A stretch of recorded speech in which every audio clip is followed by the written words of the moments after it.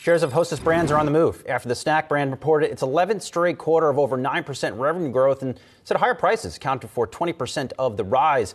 Hostess brand CEO Andy Callahan joins us now to discuss. Andy, always nice to see you here. We're sure getting some pretty good reads on, on consumers back out there traveling and moving around. What are you seeing in your brand within convenience stores?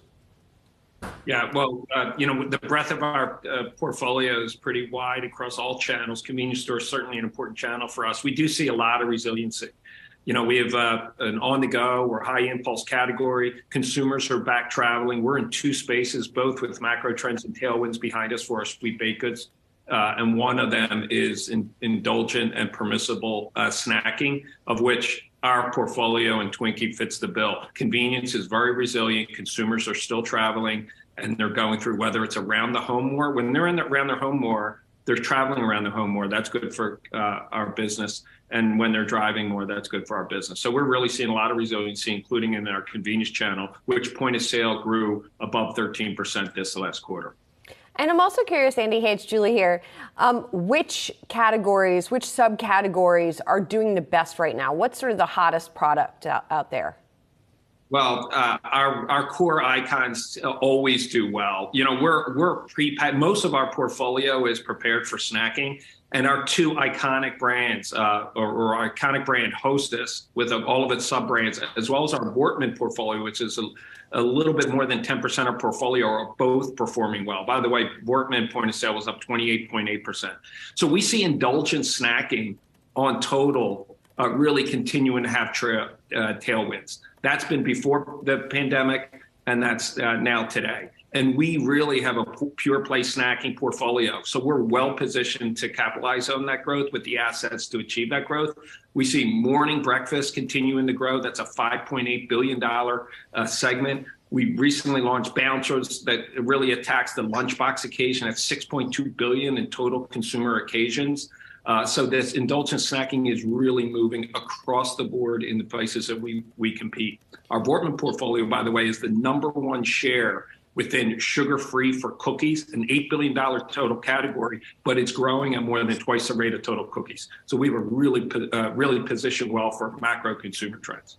Andy, you've put up uh, several good quarters in a row now. Uh, what is it about a Twinkie or the other products that you're they're selling? There are other snacks out there. Do you survey folks on, on why they're gravitating to your brands?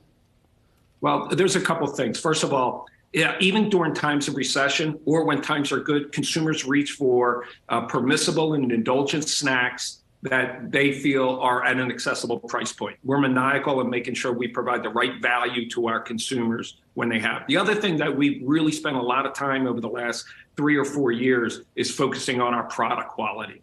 So when consumers come and they want an indulgent snack, they want it to be a good reward. They don't need a lot, but they need it in a in a portion controlled uh, uh, form. We've invested in product quality. Our penetration in households is going up, and but also our we're accessing and adding two times buyer to our category or to our franchise, to our hostess business, as greater than twice the rate of the rest of the category. That means when consumers come and try us, they like it and they're coming and repeating. So we're doing all of the fundamentals that's right. Add on top of that our increase in advertising to, to build the gap between our aided awareness and, and top of mind um, awareness and our innovation, and you get a recipe for 11 straight quarters above 9% growth.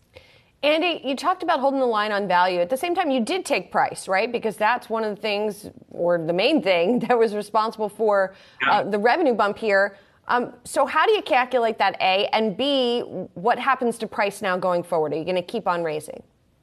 Uh, as we sit here today, what we see, especially as we close out the year, it's too early to talk about 23. We have the pricing in the marketplace to obviously deliver our raised guidance. We raised our revenue and profit, top and bottom line guidance uh, for the uh, full year of FY22. This is the way we look at it. We take the value that we deliver to consumers very serious, and then we also have a suite of tools that we we utilize to leverage the efficiency of which we deliver them. We balance both of those. So in the quarter, despite having 20% pricing that moved through the uh, the consumer, our gross margin still contracted a little less than 100 basis points. We believe over time, given our revenue growth management initiatives, our productivity initiatives, And um, and when needed, when we get this high of inflation, it was above 18% in the quarter. As a last resort, we do move the pricing. So that's why pricing's in the marketplace now. We think we have the right balance going forward, but given uh, our agility and our continued focus on on the fu- fundamentals, if needed, we're in a position to do that. We don't believe we are today. We do. We are committed to, by the way, of recovering our gross margins over time.